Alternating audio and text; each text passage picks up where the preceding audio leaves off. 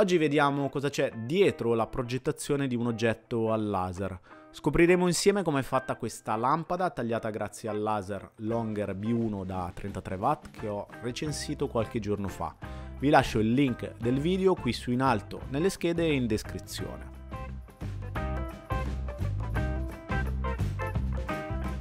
Questa che vedete è la versione finale che ho partorito con non poche difficoltà. Vediamo insieme quali sono gli aspetti che la rendono particolarmente smart. Innanzitutto il montaggio semplificato con tanto di istruzioni dettagliate. Infatti se vi interessa il file lo trovate su Etsy a pochi euro, potete riprodurlo. Vi lascio il link e il codice sconto del 50% in descrizione. Trovate sia il formato Lightbarn che di XF.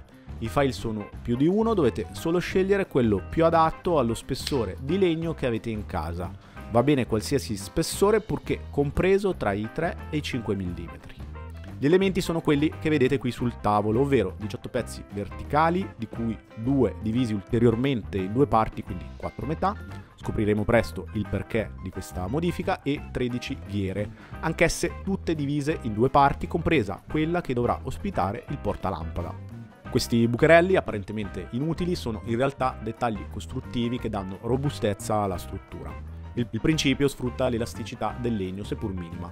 In ingresso, infatti, le due parti si allargano leggermente a causa di questa piccola bugna, ma poi ritornano in posizione quando la bugna incontra la parte forata. Si sente un vero e proprio clac e la giunzione risulta ben salda. L'assemblaggio a mezzo legno risulta ulteriormente facilitato anche dallo smusso dell'ingresso che vi aiuta ad inserire reciprocamente le due parti. Due degli elementi verticali sono numerati, così come tutte le ghiere.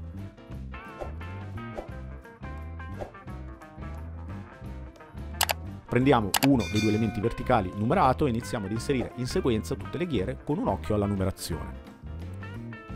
L'altro elemento verticale numerato ci servirà per la seconda metà. Ne ho numerati solo due per risparmiare tempo di incisione, in quanto, una volta definita la sequenza corretta, non c'è più ambiguità nel montaggio. Proseguiamo stando attenti ad alternare il punto di fissaggio delle ghiere, così come segnalato nelle istruzioni di montaggio e come si vede bene nelle immagini. Devono essere sfalsate. Questa accortezza, in futuro, ci sarà molto utile in caso di sostituzione della lampadina o del portalampada, ma il tutto sarà molto più chiaro nel proseguo. Terminato di assemblare due elementi verticali, la lampada inizia a prendere forma e compattezza e il montaggio dei successivi sarà molto più semplice.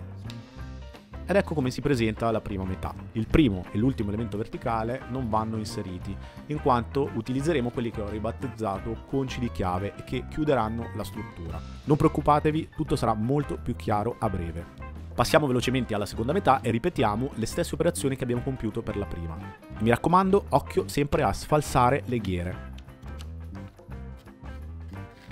Montiamo quindi il portalampada e avviciniamo i due pezzi in modo che le due semilampade si possano unire, come fossero le due metà di una conchiglia e i conci di chiave, ovvero gli ultimi due elementi verticali, che in realtà sono quattro in quanto separati in due, consentono di unire saldamente le due parti.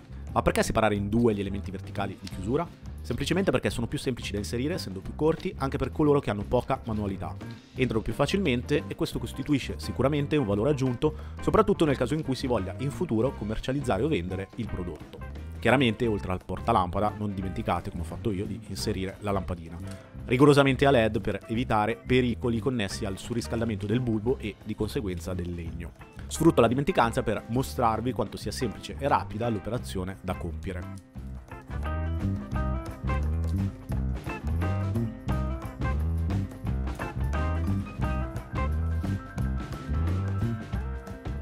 La lampada può essere sfruttata sia nella variante per così dire da comodino, quindi semplicemente appoggiata o inserendo due supporti trasparenti che ne modificano l'inclinazione, o in alternativa si può appendere a mo' di lampadario e anche in questo caso risulta utilissimo il sistema di apertura semplificato.